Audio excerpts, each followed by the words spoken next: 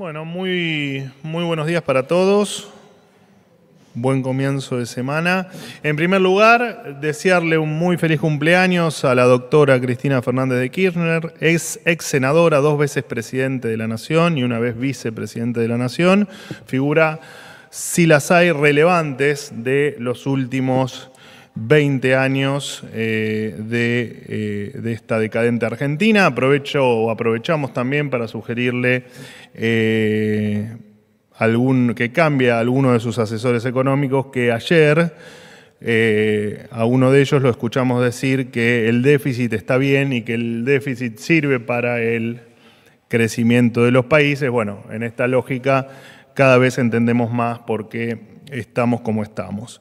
Eh, en otro orden de cosas y en virtud de la reglamentación del DNU 70-2023, que va a ser publicada la brevedad en el boletín oficial. Quiero informarles que, eh, que va a estar, repito, publicado en las, en las próximas horas. Los trabajadores tendrán la libertad de derivar sus aportes a la obra social o prepaga que elijan desde el inicio de su contratación. Durante décadas esto no pudo, no pudo ser así, ya que muchos estaban obligados a mantener la obra social que les obligaba a tener la actividad o el sindicato al que, al que pertenecían, así que eh, esto les va, a dar mucha más eh, libertad, eh, en virtud también de que puedan elegir la obra social que consideren mejor, con mejores servicios o donde encuentren la mejor, eh, lo que considere cada uno de los trabajadores la mejor, la mejor atención. En, en, virtud del proceso que estamos llevando adelante de desmantelamiento de lo que nosotros denominamos la casta política, comentarles también que el Ministerio de Capital Humano denunció ante la justicia irregularidades en la compra de medicamentos destinados a pacientes oncológicos o con patologías crónicas durante la gestión anterior. Eh, el proceso era absolutamente impune. Eh, había desde eh, presupuestos aprobados que no tenían ninguna firma o eh, compras que se hacían directamente por correo electrónico sin siquiera tener alguna comparativa con otros proveedores o con otras, o con otras alternativas. Eh, la Dirección Nacional, la, perdón, la Dirección de Asistencia Directa por Situaciones Especiales administraba un presupuesto de 38 mil millones de pesos y además por supuesto, cuando uno habla de este tipo de cuestiones, uno está hablando en definitiva de la cara más cruel de la política o de la casta política. Lo habíamos conversado, lo había anunciado la ministra Bullrich la semana pasada, ¿no? Esto de usar el esquema de asistencia social para eh, el abuso sexual eh, por parte de los piqueteros en Chaco, de algunos funcionarios o exfuncionarios, eh, aprovechándose de las necesidades de la gente y en este caso eh, intentar hacer negocios con cuestiones que hacen a la vida de las personas eh, es sin dudas la parte eh, más cruel de la mala política o de la casta, de la casta política. Por supuesto, más allá de la mala intención que hubo en algunos medios de comunicación o en algunos trascendidos, todos los que necesiten asistencia, medicamentos eh, y demás cuestiones la van a seguir recibiendo, ¿no? Por supuesto que sí, esto es un tema interno o de, administración interna que vamos a cambiar para no solo hacerlo más eficiente, sino para eliminar cualquier tipo de acto de corrupción que pueda llegar a existir. En cuanto a la agenda del presidente de la Nación, hoy el presidente va a estar viajando a Corrientes. Algún detalle más se los podrá informar luego Javier Lanari.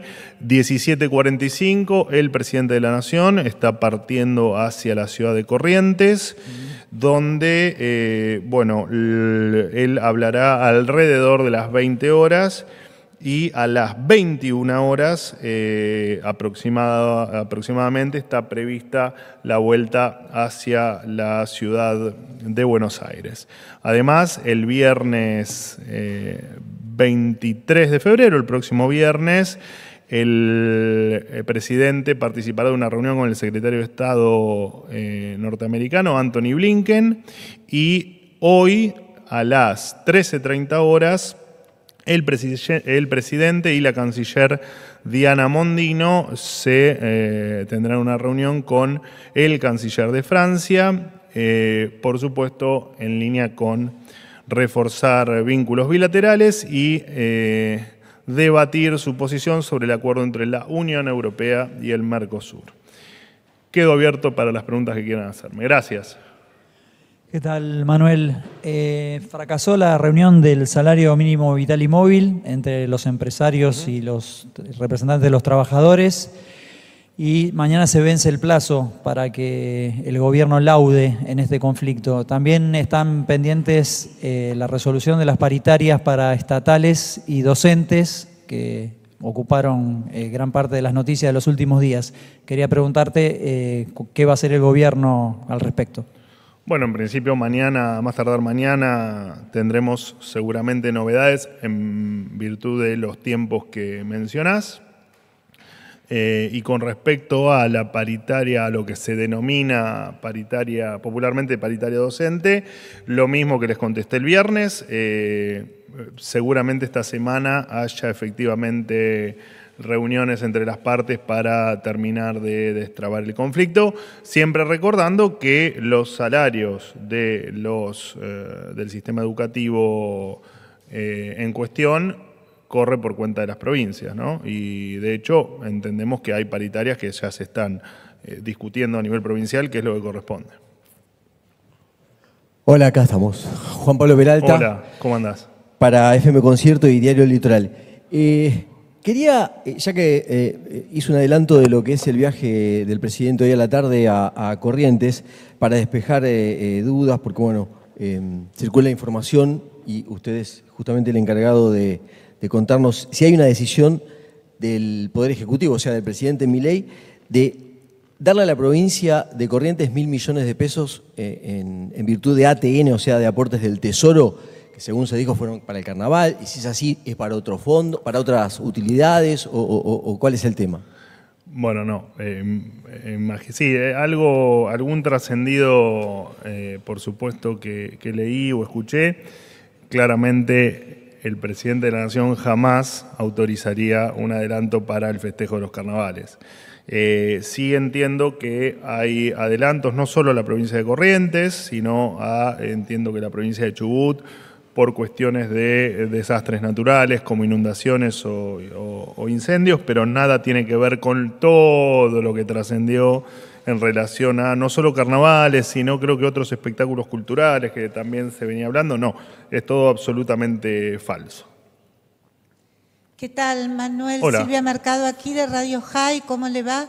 Em, dos cosas le quería preguntar. Una sobre un anuncio que acaba de hacer sobre la desregulación de las obras sociales, que ahora el afiliado podrá elegir libremente eh, eh, a dónde realizar sus aportes.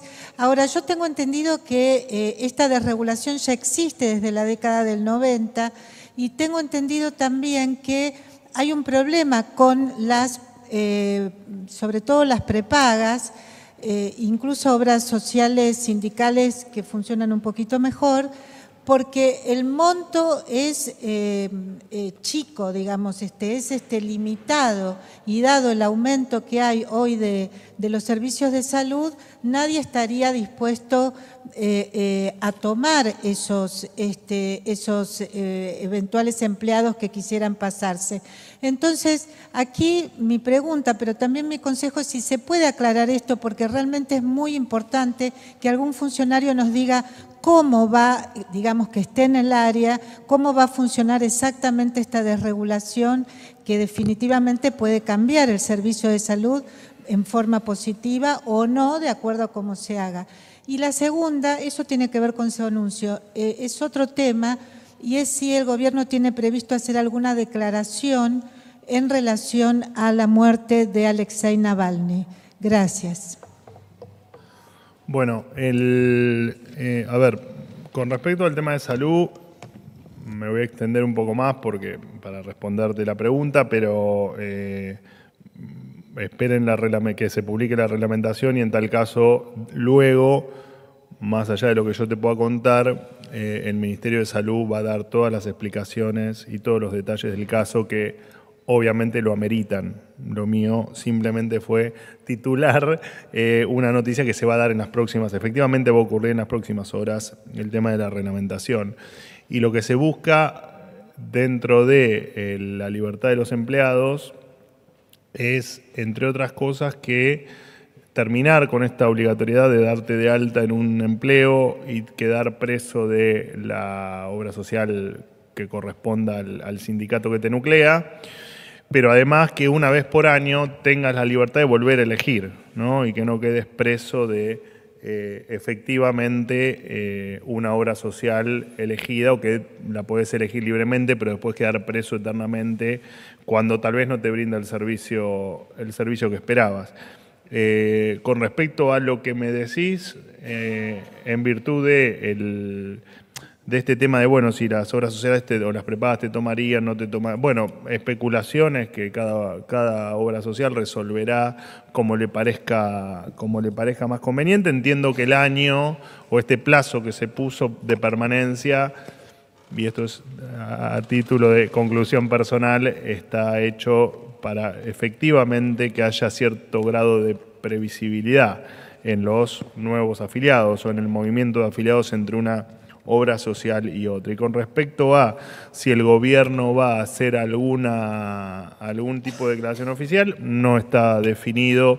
Eh, no, no, te lo podría definir, entiendo que no, pero no te lo puedo definir, pero todavía no hay nada, no hay nada al respecto. Por nada, Silvia. Buenos días, vocero Gabriel Sanfilippo de Radio 10. Mientras sigo esperando el cafecito para ver el tema jubilados. ¿Me escribiste? No. Ah, yo esperaba su invitación, no sabía que me tenía que autoinvitar. Estoy un poco sobrepasado de trabajo, ah, así que escribime un WhatsApp y te prometo que te invito un café y un vasito de agua. Bárbaro. Entonces aprovecho para preguntarle por un tema que tiene que ver no con jubilados concretamente, sino con algo que está ocurriendo en este momento a metros de aquí en el Ministerio de Economía. Eh, movimientos sociales están protestando frente al Ministerio de Economía por la demora en el envío de alimentos. ¿Por qué lo hacen en economía? Según ellos, porque están planteando que la restricción de las partidas viene desde el Ministerio de Caputo. Ahora, también recuerdo algo que el presidente dijo durante la campaña, que había un ministerio que iba a tener un presupuesto ilimitado para poder asistir y contener la demanda social y era capital humano. Hasta ahora lo que estamos viendo es demoras en las respuestas y si bien están ustedes, como lo dijo en la introducción, analizando y revisando denuncias de malversación de fondos, la urgencia social no puede esperar el trámite, entiendo yo. Esta es la pregunta. ¿Cuándo van a empezar a acelerar los tiempos en capital humano? Eh, correcto, las urgencias efectivamente en asistencia social no pueden esperar. Eso, de hecho, es la, la, primero que es lo que indica la lógica, pero además es la orden del presidente de la Nación, es que efectivamente los más vulnerables estén atendidos de manera inmediata desde el 10 de diciembre pasado. Así que sí, efectivamente es como vos, es como decís. ¿Por qué eh, la gente marcha o se manifiesta en el Ministerio de Economía? Desconozco completamente, es una decisión de los que marchan.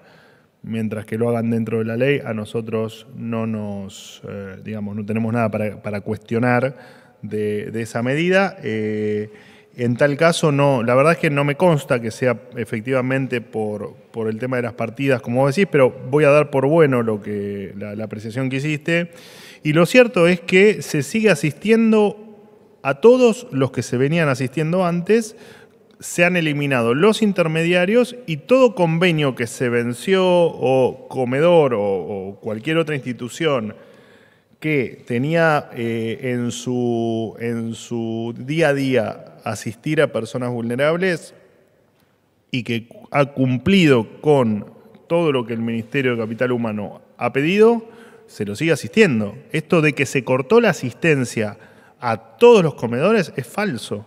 Es absolutamente falso. De hecho, comuníquense con el Ministerio de Capital Humano que les van a brindar los números precisos de quiénes son los que no han cumplido con la, con la, con la normativa, con los requisitos, y quienes sí, y ahí se van a dar cuenta que efectivamente jamás se frenó, como me dijiste vos, o se, se pisó, que como se usa vulgarmente esa definición, ninguna partida de, de asistencia social. Dicho esto, el presidente Milei no se refirió a un presupuesto ilimitado porque tenga dinero infinito, porque de hecho no lo tienen y porque de hecho la premisa del gobierno, o una de sus premisas, es no gastar más de lo que se tiene.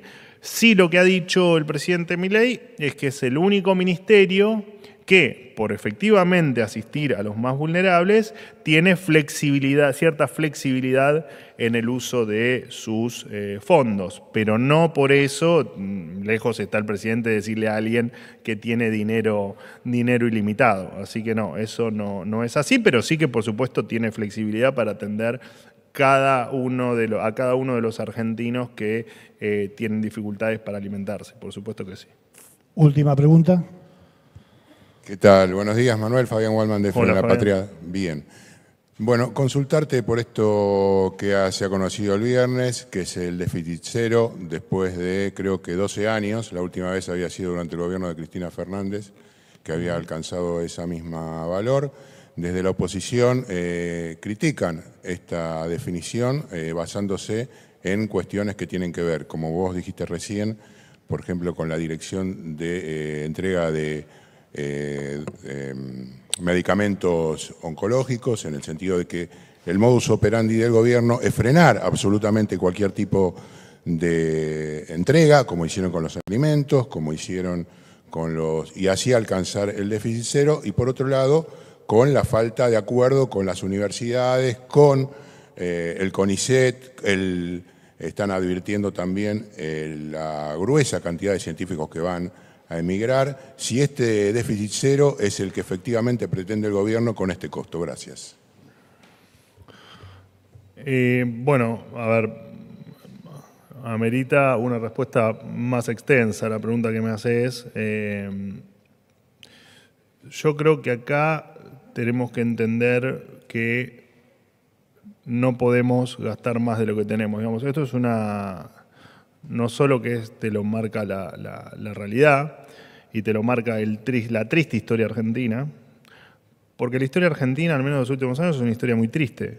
Es una historia donde no solo tenemos índices de pobreza eh, récord histórico, o, no sé si histórico, pero de los más altos que ha tenido la, Argentina en, en su historia, eh, no solo tenemos problemas en salud, en educación, eh, dentro de la pobreza con la indigencia, sino que también tenemos problemas de lo que quieras, digo, tenés problemas en, por ejemplo, en cuestiones inflacionarias, también eh, transitando un momento muy duro de la realidad argentina, hemos despedazado la moneda, ¿no? La, hemos destruido la moneda en los últimos 20 o 20 y pico de años, eh, así que, eh, y gran parte de esto ha sido por, y te diría que no solo de los últimos 20 años, me puedo ir atrás prácticamente 100 años, un siglo atrás, y casi que te podría justificar todas las crisis argentinas en el déficit fiscal, ¿no? Déficit fiscal que lo he explicado varias veces y el presidente lo ha hecho también, déficit fiscal que te lleva indefectiblemente a emitir o a endeudarte, esto de que te endeudas porque sos mal tipo, no, te endeudas porque efectivamente tenés déficit y lo tenés que cubrir. Eh, y efectivamente, en este daño que se le ha hecho a la Argentina, nosotros no vamos a participar. No nos votaron para eso y no tenemos ninguna intención de seguir destruyendo a la Argentina, sino todo lo contrario. Terminar con 20 o 20 y pico de de esta última etapa de destrucción de la Argentina, terminar de una buena vez, cueste lo que cueste. Eh, y en esta premisa, tu comentario sobre el superávit y sobre los datos que se conocieron el viernes, eh, datos que a nosotros nos pusieron enormemente contentos.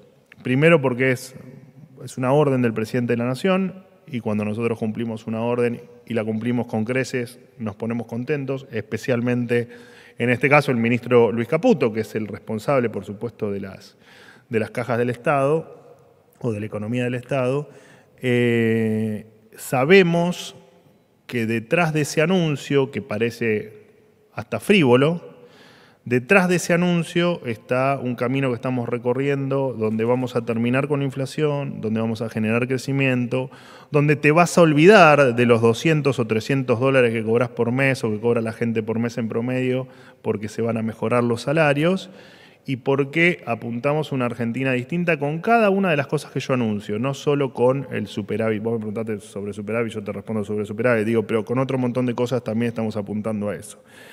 Y eso no es negociable no es negociable, porque cuando se popularizó la frase no hay plata, el no hay plata es precisamente eso, es conceptualmente entender que la Argentina, como digo yo siempre, barría mucha basura bajo la alfombra y no lo vamos a seguir haciendo.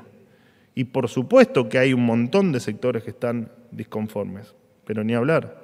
Ahora, quien pretendía, quien pretendía que la pobreza, la inflación, las jubilaciones y todo el resto de las cosas que venimos charlando con ustedes y que charlamos en otros, no solo con ustedes, ¿no? sino que ustedes mismos de motus propio lo publican en los medios, si va a resolver en 70 días, bueno, me parece que hay, hay, el quien piensa o que quien pensaba eso me parece que eh, reviste, reviste falta de, de, ¿cómo decirlo?, de sentido común, ¿no? Porque en definitiva eh, un país se lo rompe, en, un país que se rompió en, algunos, en, algunos, en algunas varias décadas, pretender que se arregle en 60 o 70 días, qué sé yo. La verdad es que me parece bastante inconsistente por parte de aquellos que lo piensan.